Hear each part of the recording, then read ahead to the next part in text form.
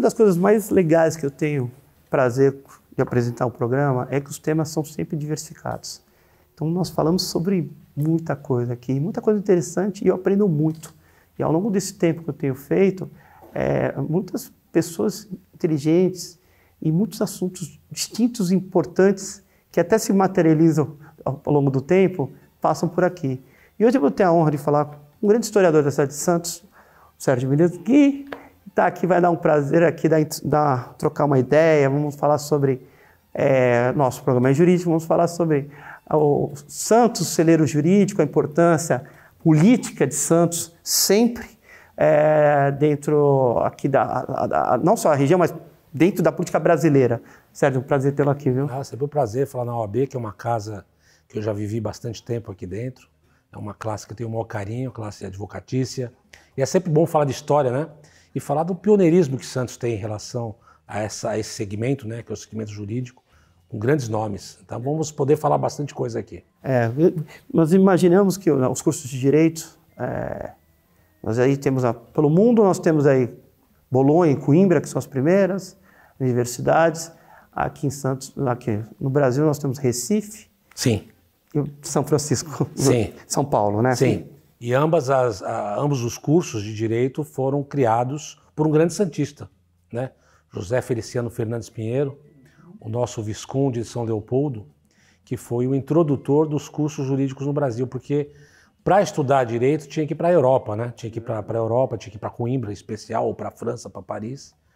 Mas aí o Visconde São Leopoldo percebeu a importância de estabelecer esses cursos no Brasil e ele acabou criando essa lei que possibilitou a criação no curso em Olinda, né, em Pernambuco, e o famoso curso de São Paulo, né, do famoso Largo de São Francisco, que aliás foi que formou boa parte dos grandes advogados da cidade vieram, né, são oriundos dessa grande universidade. É, não vamos falar sobre isso, mas me parece que a Faculdade Católica de Santos era em 1950, primeira turma, acho que foi sim, essa aí. Sim. Que, que, produziu, a, o pessoal chama popularmente a Casa Amarela, né? Exatamente. Casa Amarela, um celeiro também de grandes advogados, é, uma história riquíssima, né? Que formou aí grandes gerações na área e a Universidade Católica, também pioneira na região, né, a primeira grande universidade local, mas que o curso de direito antecede aí a própria formação da universidade. Ainda era faculdade, faculdade de direito, e, e realmente é, podendo aí celebrar né, e formar tantas cabeças boas aí para o segmento jurídico. Voltando um pouquinho, a, de quando que é o Lago São, o Lago São Francisco? Mil... 1850, não, não tem de cabeça. Mais ou menos, ali, é metade é. do século XIX. Metade do século XIX. É, que era um momento, é, ali um momento, nós estamos vivendo o romantismo, né? A questão literária, o Brasil era um, ainda ele estava sobre a égide do, do, do, imperialismo e tudo mais. Dom Pedro II. E, e, aí, mas havia, e, e começa na, na, no direito, nas faculdades de direito, aquela ideia da república, né? Sim, o nascedouro né, de um país com outro regime administrativo, apesar de que boa parte é, dos, da, da, elite brasileira ainda defendia a monarquia, porque era um regime que estabelecia uma união né, do país, mas de qualquer, de qualquer forma a República ela nascia ali com aquela juventude, querendo modificações, querendo um pluralismo mais democrático né, nas conduções administrativas do país. Realmente ali tem um, um palco aberto para essas ideias mais abertas, né? Mais abertas. É, porque é, realmente os barões dos cafés e, e é, é aquele estavam ali sempre atrás e eram monarquistas, né? E aí, classe, sempre quando tem uma, uma classe diversa, é precisa de intelectualidade, gente que possa impulsionar. E nós temos aí no final do século XIX realmente a mudança. E aí a primeira nossa república, inicialmente ele com seus marechais, mas depois dos presidentes, presidentes civis aí que nós tivemos, aí o presidente de Moraes e Nilo Peçanha, que foi o primeiro, foi até o primeiro Nilo Peçanha, é, é engraçado, é que o primeiro foi que foi, não era, era, era mulato, que na época era uma questão muito, se pode dizer assim, é, que era uma, que, e foi um grande presidente, embora tenha ficado muito pouco tempo, e, e nós temos aí uma, é, um, ali um crescimento todo, até dos cursos de direito começam a ganhar muita força, porque era um momento de muita divisão, muita, muitos interesses, e ali surgem eh, os cursos, os advogados começam a ter uma repercussão maior. Sim, além, além da questão própria do, do, do, do dia a dia né, do direito, existia no, no país uma necessidade latente de uma legislação mais forte, né? Por isso que a briga e a questão, as lutas pela por uma constituição moderna já na época, né? Que foi até o que levantou os paulistas aí a solicitarem uma revolução constitucionalista de 32, porque ainda tinha alguns pontos muito ultrapassados, vamos dizer assim, né? Porque houve uma evolução tecnológica e no, e no pensamento da própria sociedade.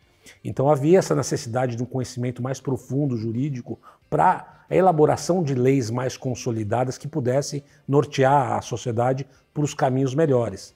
Então você tem aí é, essas universidades ganhando muito, é, muita força e, e, Santos com um papel sempre muito protagonista, porque Santos como um polo comercial importante, o maior porto do país, da, da América do Sul, né, uma, uma atividade comercial intensa, principalmente lastreada no café. Então era um local onde havia muita circulação de riqueza, muitas necessidades jurídicas, né? porque havia muitos, é, muitos embates, muitos litígios por conta até de questões comerciais. E isso acaba, é, esse, esse, esse ambiente, esse cenário, acaba solidificando e fortificando a própria, a própria discussão jurídica.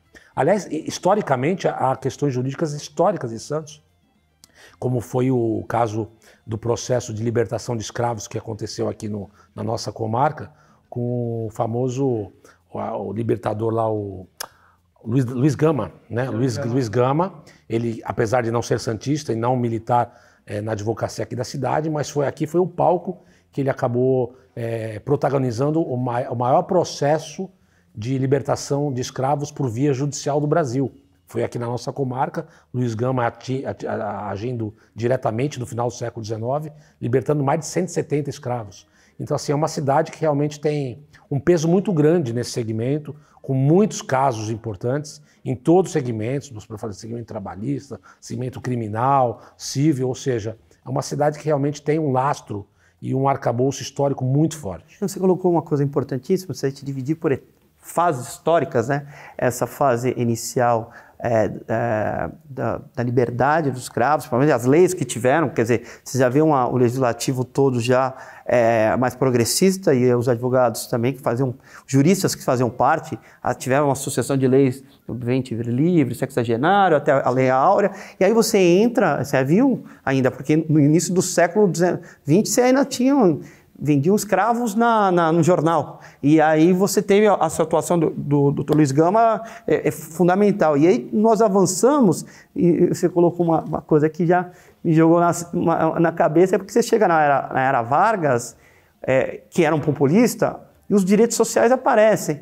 A CLT é dos anos 40, mas os direitos sociais aparecem nos anos 30. O voto na mulher, Sim. em 34, depois você tem ali, o, você tem essas dos direitos sociais. E aí acontecem uns probleminhas dentro, inclusive até na, aqui dentro da cidade e tudo mais, porque, é porque, que é muito trabalhador do Porto. Exatamente, porque Santos sempre teve esse, esse perfil, é, um perfil de uma cidade operária, né?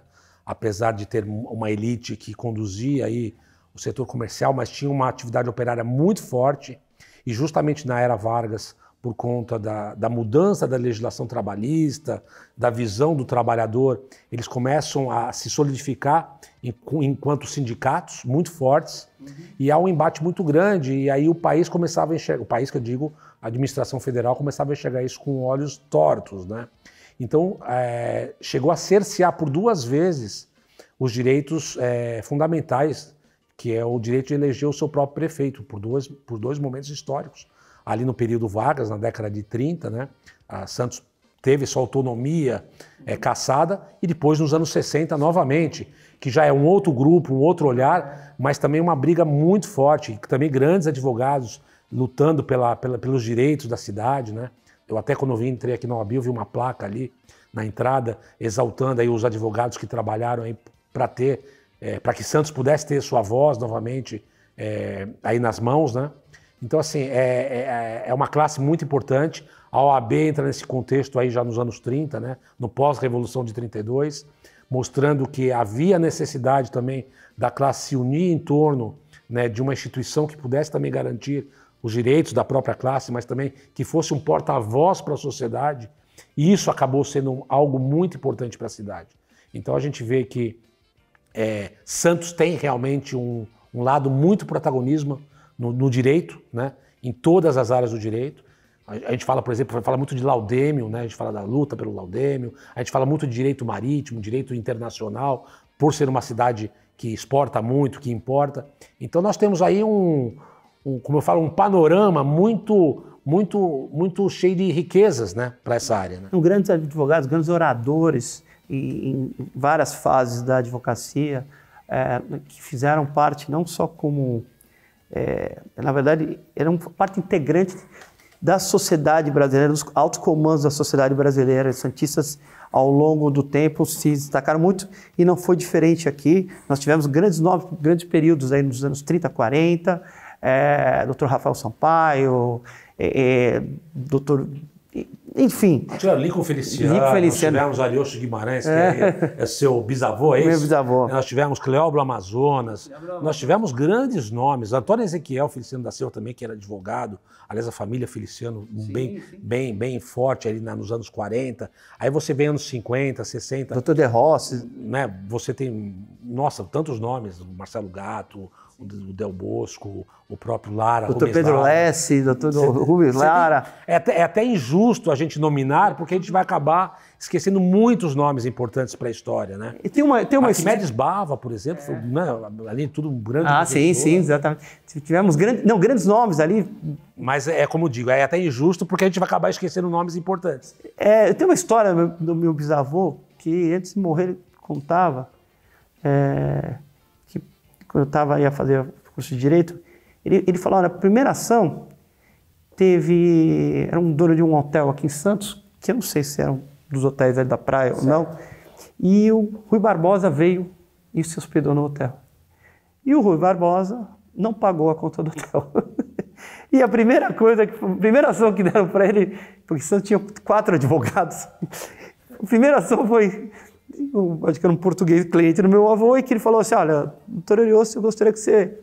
Cobrasse, é, cobrasse judicialmente. judicialmente. Aí meu, meu falou, como é que eu vou cobrar o Rui Barbosa? A sumidade, o Rui Barbosa era uma celebridade, sim, sim, o Águia de Aia, como que... E aí ele falou, olha, eu fiz uma notificaçãozinha, que certamente, extrajudicial, que não deve ter nem chegado, porque imagine, no, no Rio de Santos, no Rio de Janeiro, e, e, e, falei, e parei com aquilo mas são peculiaridades que a gente tem dentro da, da cidade. E a nossa, nós temos aí, depois, avançando o tempo, o doutor Sérgio Sérgio da Cunha, que foi nossa. tão importante.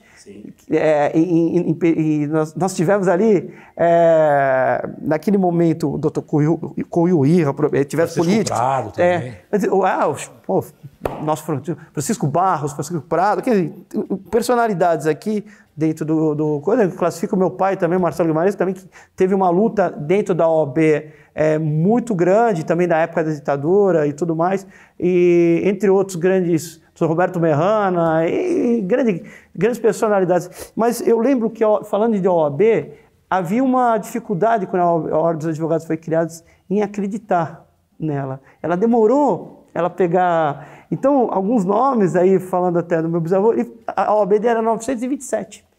Porque ele falava, olha, a gente tinha um instituto de advogados lá, e quando eu conversava com a OAB, a gente não, não sentia, porque com a OAB, olha, os advogados do Brasil era muito amplo, tinha muito poucos advogados. Sim. Então eles demoraram para. E hoje, graças a Deus, a OAB teve uma. Mas é um processo até que natural, né? Até porque já existia uma associação que convergia aí a classe. É natural que haja não vou dizer uma desconfiança, mas que as pessoas é, querem ver para crer, né? Sim, sim. E é um princípio muito básico do ser humano. Mas a OAB se consolidou, Santos é a segunda sessão fora da capital, a primeira sessão fora da capital, ou seja, tem um peso enorme né, né, politicamente nesse segmento e tem muita história. E é, e é aquele que a gente fala, né? Se a gente fizesse um dicionário de grandes nomes da advocacia santista, a gente teríamos um, um livro do tamanho da Bíblia, né? Teria alguma coisa muito grande. É, e participar de casos, por exemplo, Vicente Cassione participou de casos importantes ali, e, e, outros grandes advogados paulistanos que viam a Santos, que e, e, praticamente era a segunda casa de Santos, nós tivemos grandes. E aí, quando ele está falando de momentos políticos, e a gente avança depois dos anos 30, que foram momentos complicados até para alguns advogados, porque aí nos anos 40 se consolida é, a, a, CLT, né? e aí a demanda era muito grande, porque Santos era uma cidade economicamente muito ativa. Os imigrantes paravam aqui, é, é, o, petro, o, o, café, quer dizer, e aí os direitos, começa o sindicato dos trabalhadores, dos estivadores, isso gera questões. E aí que avança um pouco depois dessa questão toda, nós chegamos nos anos 60, que é um momento crucial, e não Sim. adianta a gente falarmos disso. Sim. E os advogados aqui, dos anos 60 e 70, eles têm grande atuação. Sim. Uma atuação além da questão é, jurídico-administrativo, mas uma questão jurídico-política, né? de, de defender de que Santos não mereceria estar na condição é, que se encontrou, né? por conta de, de, não ter os seus direitos políticos a população. E houve uma luta muito grande, que se arrastou durante anos, e grandes nomes aí é, surgiram, e muitos deles foram até perseguidos, né? É, foram presos, sim, sim. foram, sabe, é, é, ouvidos aí pela, pela, pelos departamentos de repressão. É, mas enfim, é, é faz parte da história, né?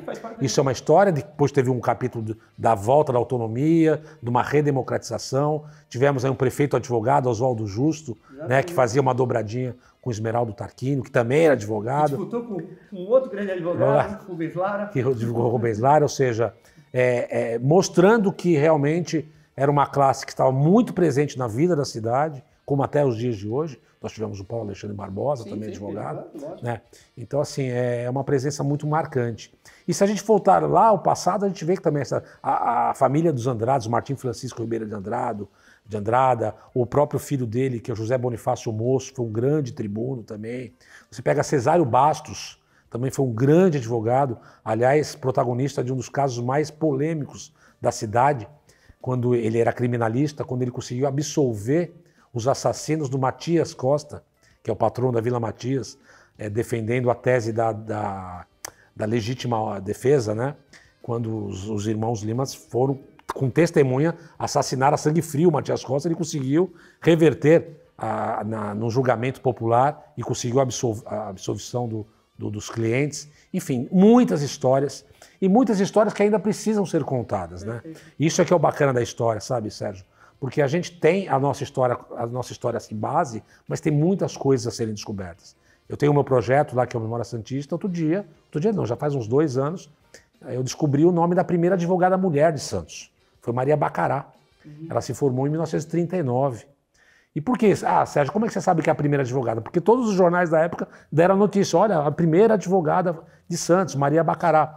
Então é legal porque é uma pioneira que inspirou outras pessoas, outras mulheres, justamente no período que a mulher começava a ganhar seu espaço na sociedade. Enfim, muita história e a advocacia aí continua trabalhando firme para contar as histórias do futuro, até porque tem muita coisa a ser feita ainda, Não, muitas lutas e o seu trabalho é importantíssimo, Sérgio. Primeiro que ele é um estudioso, então ah, quem estuda vai a fundo. Pesquisador ele não se limita ao Google, ele vai atrás, ele vai em fontes. Agora o Google é uma bela ferramenta. Mas, por exemplo, essa nossa cidade, ela se forma no centro. Questões de terra, demarcação, quem é dono disso? Quem é dono da Ilha Pochá? Teve um dono. Quem era o dono do, da Pinacoteca? Teve um dono. Sim. Quer dizer, toda essa formação, todas essas questões patrimoniais da cidade Sim. de Santos foram, foram discussões jurídicas, Sim. demarcações de terra. Olha, ó, é recente, o terreno do Santos era na entrada, era o Chico Guimarães, o nosso o saudoso Chico Guimarães, era dono que recebeu o nome. Que são questões que parecem que foram há tempo atrás, mas foram discussões. Assembleia Constituinte, nós tivemos a participação, impeachment do Collor, a OAB foi protagonista, sim, sim. e nós tivemos Santista, várias questões. O Sérgio Sérgio participou da Constituinte, participou, quer dizer, é, é, além de políticos, santistas, os juristas, santistas, toda a cidade de Santos tem uma, uma história muito rica, não é só o Pelé, é, ou, ou, tudo faz do que Santos ser uma cidade diferente, especial. E aqui tem muita gente preparada, foi muita gente importante para que a, hoje nós tivéssemos uma sociedade até aparentemente equilibrada, os santistas fizeram muita força. Sim, sim. sem sombra de dúvida, e, eu, e é o que eu martelo, né? É, os advogados de hoje estão construindo a história do amanhã, né? Então, tudo que é feito hoje, há grandes discussões. É, a, a, recentemente, a questão do pré-sal, quanto, quanto se mexeu em termos jurídicos para que isso pudesse acontecer, a questão do turismo, a questão da ocupação do centro histórico, a mudança de legislação da lei de uso e ocupação do solo, isso tudo precisa passar pelo, pelo olhar criterioso dos procuradores da prefeitura, de juristas, de advogados que trabalham para a Câmara Municipal, de advogados que trabalham na sociedade, dão a sua colaboração, dando caminhos para que a cidade se desenvolva. Né? E que se desenvolva dentro dos preceitos da lei, dentro dos preceitos do bom senso também. Né? Isso é, é importante. E a gente, sem um advogado, a gente não consegue caminhar para esses lados. É, digamos que eu seria um, é um trabalho do advogado antigo, era um, um, comparado à obra do Monteiro Lobato, dos 12 trabalhos de Hércules, porque era um trabalho assim incessante. Porque imagine você notificar alguém nos anos 30, nos anos, nos anos 20, você tem uma questão comercial envolvendo navio. Antigamente, quando você afundava navio, você tinha que ir até Londres. Então, você fazer o processo, até você citar alguém em Minas Gerais, no Rio, não vou nem dizer lá é, para o Nordeste, ou para o Norte, ou, para o Sul, era, um, era uma questão dificílima. É, tem petições que eram feitas a pena, quer dizer, a maquininha de escrever, tá, tá, tá, tá, tá. Então, era, não é uma coisa é, é, assim, olha, passou. Alguém trabalhou muito para que a gente chegasse hoje. E, e, é muito importante. E o teu trabalho, eu, eu particularmente gosto de história e, e, e eu sempre eu acho muito importante quem se dedica a estudar o passado para entender o presente e ter uma perspectiva boa do futuro. É, é um trabalho assim, para mim assim, que tem que ser sempre exaltado, porque é um trabalho muito bonito, é muito meticuloso, você tem que ser fiel, você tem que ali ignorar algumas coisas que você também acha Sim. que é certo, né? Porque tem o, você tem o pré-julgamento, você tem a sua livre-arbítrio. Né? São as crenças, né? É, todas as pessoas têm aquilo que elas acreditam, só que, assim como no jornalismo, em que há aquele princípio básico de ouvir todos os lados, e também na advocacia, né? no julgamento você tem que ouvir todos os lados, para você formar o famoso juízo de valor, né? e dar a sentença no caso de um juiz.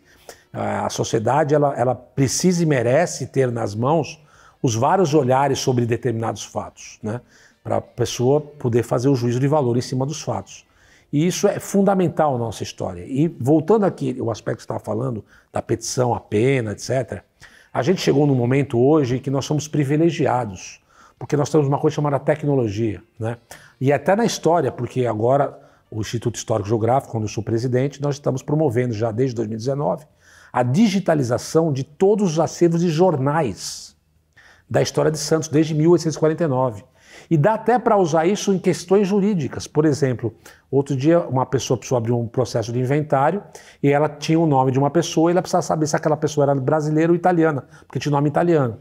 Eu pedi a senhora, entra no, no site tal, que tem os, os, jornais lá digitalizados, digita o nome da pessoa, e ele encontrou uma informação que respondeu aquela pergunta, através do jornal, porque ali você tem editais de casamento, você tem é, ações extrajudiciais publicadas. Tudo que é publicado em jornal você tem acesso através de um sistema de busca por palavra-chave.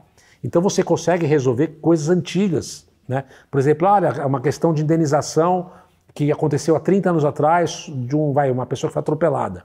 Só que aquilo virou uma, virou uma matéria do jornal. Ninguém mais lembrava. O cara vai lá, digitaliza, acha a matéria da data, anexa no, no processo, ou seja, tem uma prova primária de que aquele fato aconteceu.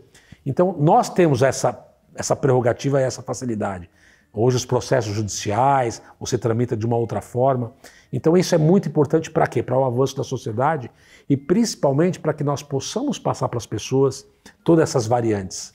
E o que você falou, que é uma sociedade que desconhece seu passado fica sem condições de avançar para o futuro. Então é esse o nosso grande papel, de dar à sociedade as histórias para que elas possam compreender as histórias, valorizar essas histórias e criar um sentimento que falta muito hoje lá fora sentimento de pertencimento, de pertencer a uma sociedade e de, sentir, de se sentir dona daquilo que é dela. Um monumento público, um prédio público, não é da prefeitura, é de todos nós. Perfeito. Então nós temos que zelar pelo que é nosso. Então esse é o grande papel que a história, que o jornalismo em conjunto com, é, faz e que a advocacia também de uma certa forma faz porque a advocacia é que leva os caminhos da, da, da justiça, né, para que as pessoas possam também sentir, sentir-se seguras com a justiça. Porque não existe coisa pior do que o sentimento de injustiça. Então é o advogado que consegue mudar essa chavinha, né, através de um trabalho bem feito, com muita pesquisa, com muito suor, e é isso que a gente faz. Você colocou num ponto da tecnologia muito importante.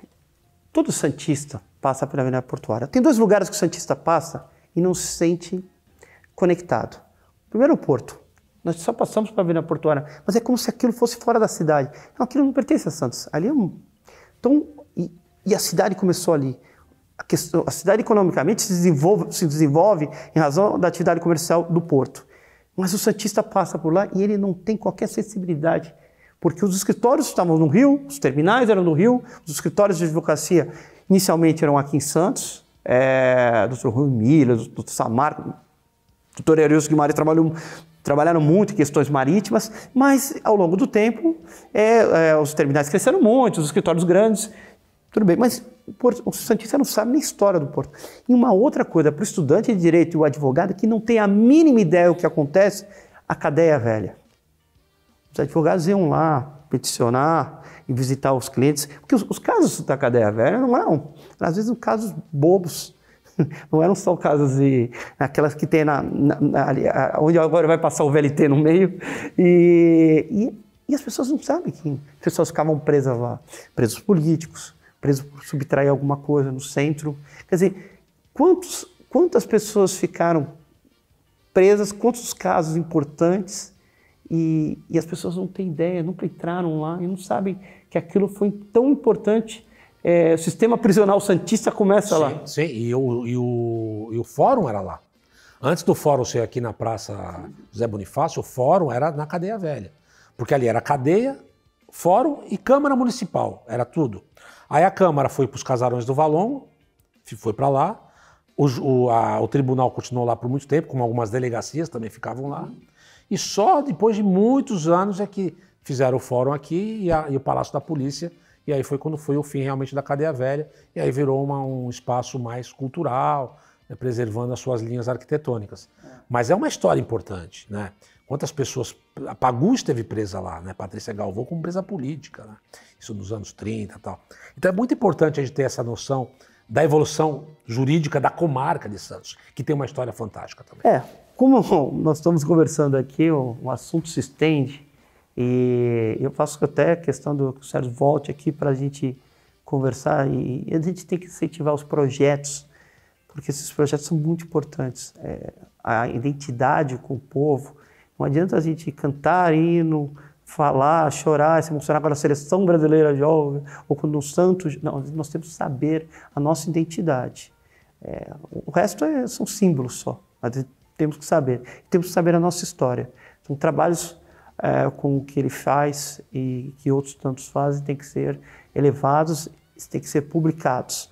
Eu quero agradecer muito a presença dele aqui. Eu espero que a gente possa sempre fazer essa parceria entre a OAB e, e a consciência da cidade, histórica da cidade, para que a gente possa passar a todo mundo quanto é importante, quanto é é, é, preciosa a nossa cidade, quanta gente boa passou por aqui e lutou para que nós tivéssemos a nossa liberdade de falar o que quisermos. Eu quero te agradecer muito pela presença e te convido já para outros programas. Ah, eu que agradeço. É sempre um prazer falar com vocês aqui da OAB. Volto a dizer, é uma casa que eu já estou acostumado.